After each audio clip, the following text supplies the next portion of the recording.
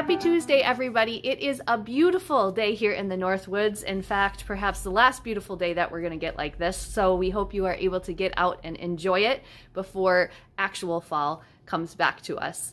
Um, thank you to everybody who shopped over the weekend for our clearance sale. And this week we have our gnome preview night. So if you're in the area on Thursday from 5 to 7 p.m., we'll be open late with our gnomes out for display. Uh, no frills they're going to be piled on tables for you guys to check out and grab before we get ready for our holiday open house, which is the weekend of November 6th.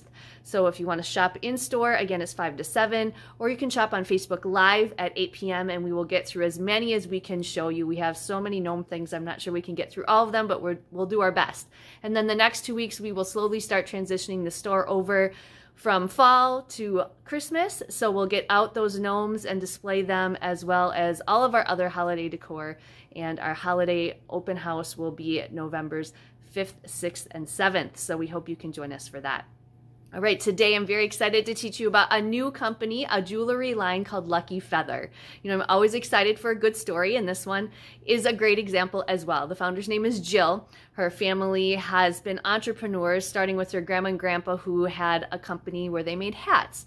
Her mom then started her own clothing company out of their home that grew into a large company. And Jill's inspiration was to spread happiness, joy, empowerment, with jewelry. So she made this great affordable line called the Lucky Feather when she was looking to find a gift for one of her friends and she couldn't find anything that worked. So she decided to create one. So we have all kinds of really great necklaces, bracelets, and even a few earrings that have positivity and message to go along with them. So their standard and staple is kind of birthdays. So we have these really neat ones, and this started because I got one of these as a gift from one of my friends, and I'm like, oh my gosh, these are great. So I looked them up, and here they are. So this is the example of the birthdays.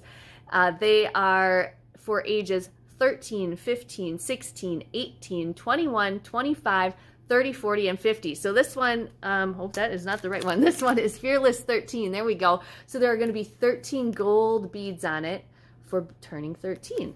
Then we would have 15. Of course, mine has uh, more than 15 on it, but they still look really cute. They have nice little adjustable backs to them as well. We then have this one which uh, says thanks a bunch. There are other ones that have the bead sentiments as well, just a general happy birthday if it's not one of those milestones. For necklaces, we can find things like this. Here's one, it says blessed, and that's Morse code for blessed. So everything is very dainty, um, little gold beads and bars. This one here says troubles fly away. It's got a little bird on it and it says let this necklace restore your joyful spirit. So what a nice message there. And again, we do have some little earrings as well. Here's a necklace that says mama, comes with a little envelope. You are my role model and my best friend. Thanks for being my shoulder to cry on. When I grow up, I want to be just like you. Isn't that sweet? Even have some really cute little journals too. So these journals will be great for the upcoming holidays and stocking stuffers or just when you want to give somebody some motivation and happiness to move forward. So check them out.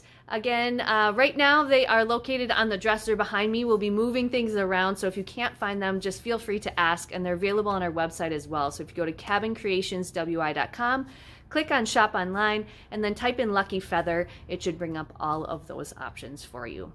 All right, as always, everybody, thank you so much for watching. Stay safe and happy Tuesday.